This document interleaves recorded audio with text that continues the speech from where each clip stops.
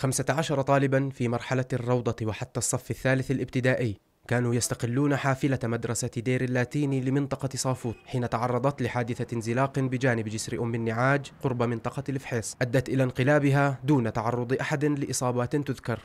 الطلبة تم فحصه من قبل الدفاع المدني وسيارات الدفاع المدني وكان عدد حوالي خمس سيارات دفاع مدني. الحمد لله رب العالمين ما في إصابات وأنا بطمن الجميع أنه ما في إصابات نهائيا. رئيس قسم التعليم الخاص في المديرية أكد أن الوزارة تقوم بمتابعة المدارس الخاصة بجولات ميدانية للتأكد من جاهزية الحافلات وصلاحيتها للاستخدام.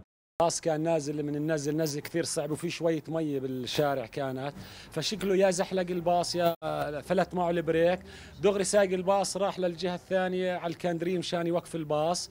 آه، من قوة الضربة الباص قلب على الجهة الثانية مباشرة. قلب ونزل حوالي 4 5 متر يعني تزحلق الباص. عن النزله وهو نزل هو جاي جاي عن النزله آه دعس مرتين بريك وإنه واقع. كنا نازلين النزله وكان في جنبينا حش طلع عليها عشان كانت في سيارة قدامنا. نزل هيك بعدين مال هيك بعدين قلب. يعني صدمة الباص قالب لحالها هاي إنه شيء كبير يعني. بس الحمد لله يعني إنه طمنتنا إنه ما في إصابات ما في أي أذى ولا ضرر والأمور سليمة. هذا أمر لا يمكن التهاون فيه على الإطلاق إذ لا بد من اتخاذ الإجراءات اللازمة لحماية أمن وسلامة أبنائنا الطلبة.